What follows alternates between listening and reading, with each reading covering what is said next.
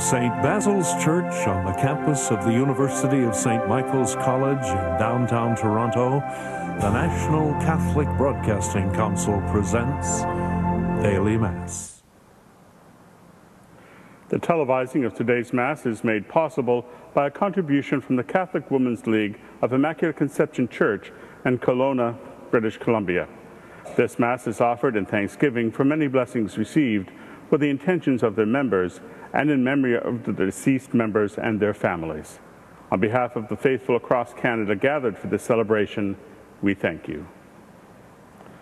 In the name of the Father, and of the Son, and of the Holy Spirit, Amen. Amen. The Lord be with you. With you. My friends, we gather today to celebrate God's love for us in this Eucharist.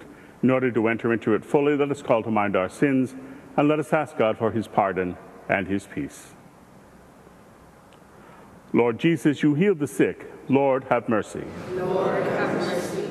Lord Jesus, you forgave sinners. Christ, have mercy. Christ, have mercy. Lord Jesus, you give us yourself to heal us and bring us strength. Lord, have mercy. Lord, have mercy. May Almighty God have mercy on us, forgive us our sins, and bring us to everlasting life. Amen. Glory to God in the highest, and peace to his people on earth.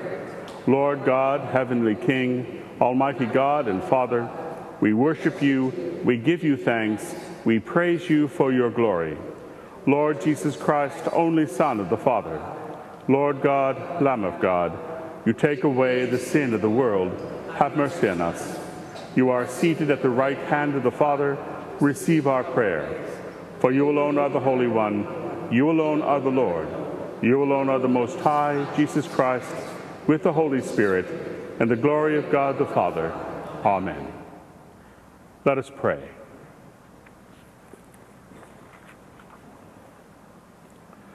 God our Father, in obedience to you, your only Son accepted death on the cross for the salvation of all people. We acknowledge the mystery of the cross on earth. May we receive the gift of redemption in heaven. We ask this through our Lord Jesus Christ, your Son, who lives and reigns with you in the Holy Spirit, one God forever and ever. Amen. A reading from the letter of Paul to the Philippians. Though Christ was in the form of God, he did not regard equality with God as something to be exploited, but emptied himself, taking the form of a slave, being born in human likeness, and being found in human form, he humbled himself and became obedient to the point of death, even death on a cross. Therefore, God highly exalted him and gave him the name that is above every name, so that the name of Jesus every knee should bend in heaven and on earth and under earth, and every tongue should confess that Jesus Christ is Lord, to the glory of God the Father. The word of the Lord.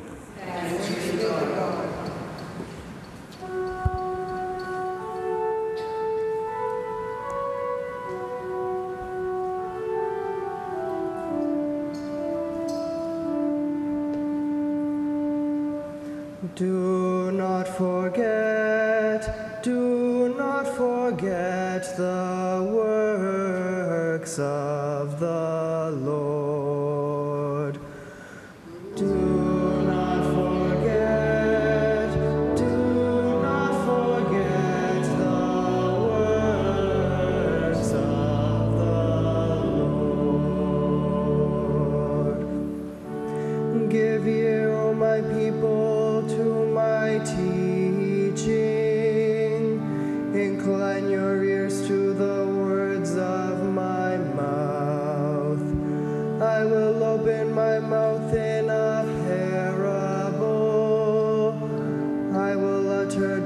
Sayings from of old. Do not forget, do not forget the words of the Lord.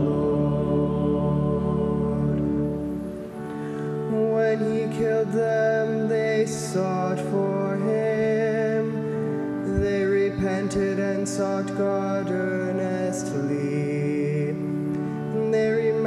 that God was their rock the Most High God, their Redeemer.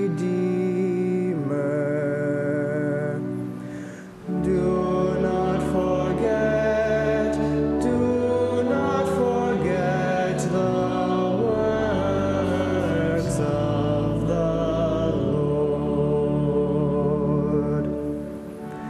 But they flattered him with their to him with their tongues. And their heart was not steadfast toward him, and they were not true to his covenant.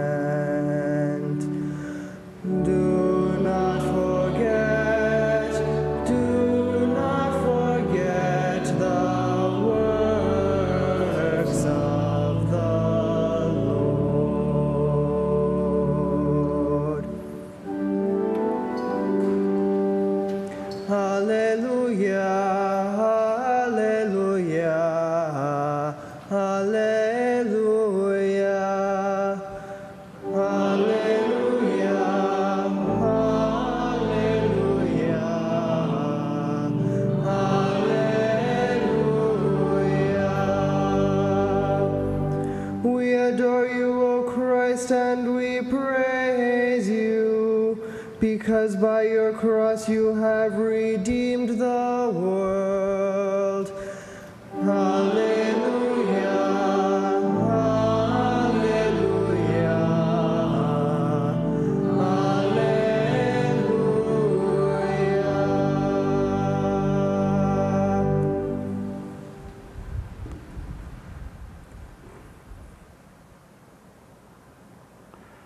The Lord be with you. A reading from the Holy Gospel according to John.